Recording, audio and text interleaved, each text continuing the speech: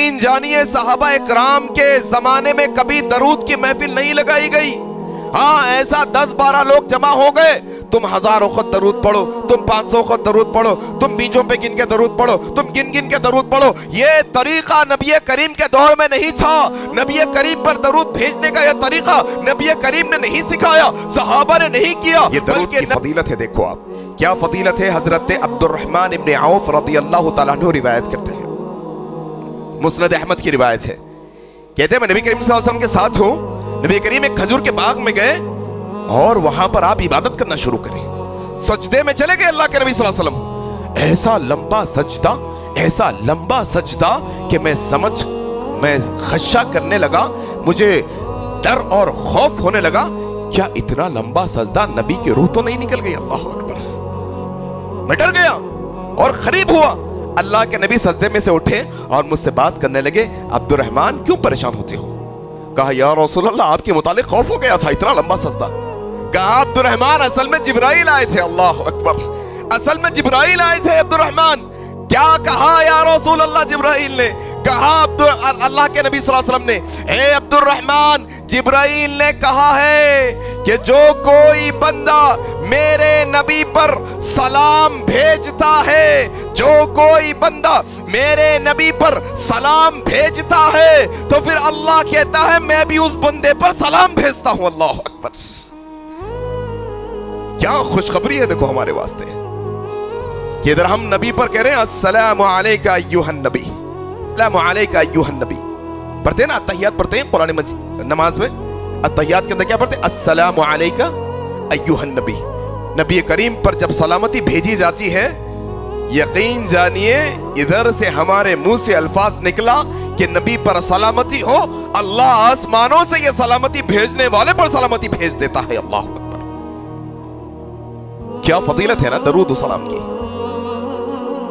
लेकिन ये दरूद सलाम का तरीका देखो आप, ये सारे चीज़ों के अंदर नबी का दरूद पढ़े, वहाँ दरूद हम पढ़ना। नबी कहाँ सलाम पढ़ने का हुक्म दिए, वहाँ पर हम सलाम कैसे पढ़ने का हुक्म दिए, वैसे हम सलाम पढ़ना। लोग कहते हैं, दरूद की महफिल।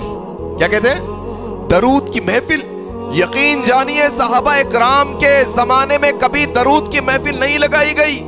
हाँ ऐसा दस बारह लोग जमा हो गए तुम हज़ारों खुद दरूद पढ़ो, तुम पाँच सौ खुद दरूद पढ़ो, तुम बीजों पे गिन के दरूद पढ़ो, तुम गिन गिन के दरूद पढ़ो। ये तरीका नबी करीम के दौर में नहीं था।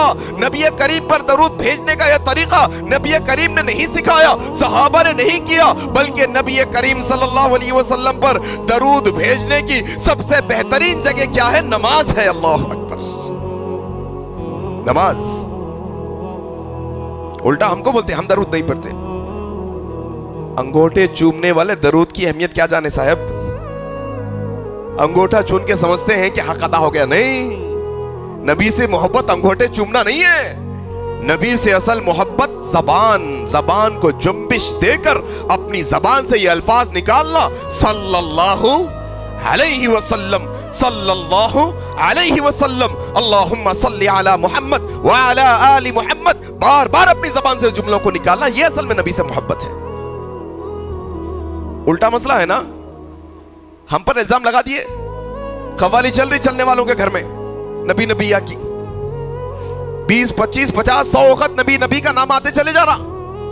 तौफीक नहीं हो रही अल्लाह सल्ली मोहम्मद बोलने की। तौफीक ही नहीं हो रही, सल्लल्लाहु अलैहि वसल्लम बोलने की। आका आ गए, आका आ गए, के रट लगा के बैठे हुए। आका का नाम आ रहा, आका पर दरूद भेजने की, इनके पास जरी सी जो है ना, इल्म नहीं है, अल्लाह अकबर। शऊर नहीं है नबी करीम पर दरूद भेजने का। और यकीन जानिए, नबी करीम का सच्चा उम्मती जब नबी करीम का नाम सुनता है, नबी पर दरूद भेजे बगैर रह ही नहीं सकता। जरा कहो, सल्लल्लाहु अलैहि वसल्लम। ये नबी करीम वसल्लम पर दरूद भेजने की फजाइल है मेरे भाई, जो आपके सामने रख रहा हूँ। कि जो दरूद भेजता है, जो सलाम भेजता है नबी पर, फिर अल्लाह भी आसमानों से ऐसे बंदे पर सलाम भेजता है अल्लाह अकबर।